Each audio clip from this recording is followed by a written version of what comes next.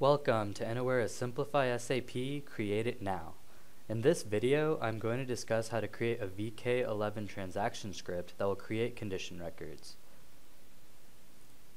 First, I will pull up my Excel template, which contains the VK11 data, consisting of material number, price, start date, and end date. I'm going to start by opening Process Runner. It is a standalone application that can be installed on a desktop, a server, Citrix, VMware, Hyper-V, and it officially works with SAP systems from 4.7 to HANA. Now I'm going to create a new process and select the transaction technology. I'm going to type in the T-code VK11 here and select Start Recording. I am now prompted to log into any SAP system from my SAP landscape. Process Runner supports single sign-on, enterprise portal, SNC, SSO1, SSO2, HTTP, and HTTPS authentication.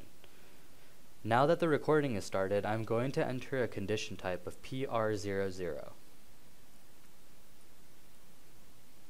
Next, I need to enter a sales organization, followed by a distribution channel, and finally a customer number.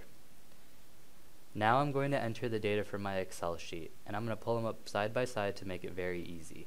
For the material I'm going to write 100-100 and the amount I will put 35 and the valid from date is going to be March 1st 2008 and the valid to date is going to be March 31st 2008.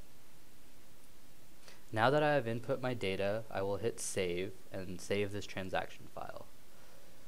I can name my transaction file anything I would like. I'm going to leave it VK11 in this case and hit OK. Now I am taken into what is called the Mapper tab and I can see all of my recorded fields at the top. I'm going to start by linking my external Excel containing my VK11 data.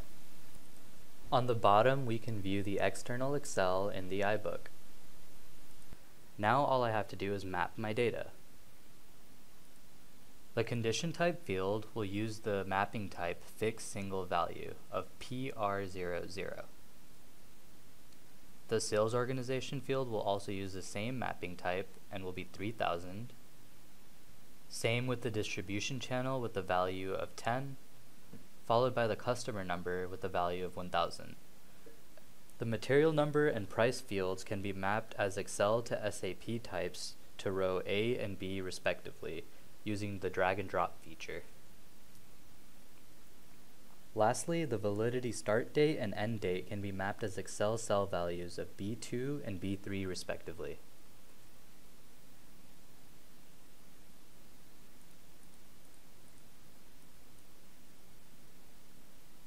Now I am going to go to the Home tab and this is where I can select which rows to run.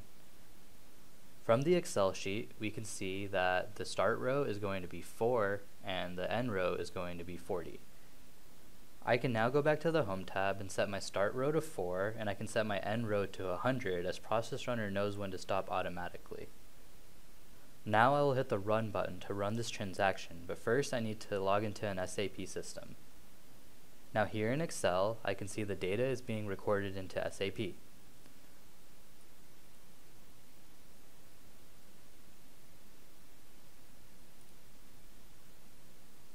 Now I can go back into Process Runner and see my runtime for this transaction.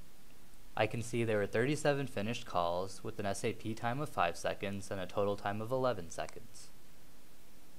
Thank you for watching, and if you would like to learn more about Process Runner, please visit us at innowera.com. And if you would like further assistance utilizing Process Runner, you can contact us at support at innowera.com.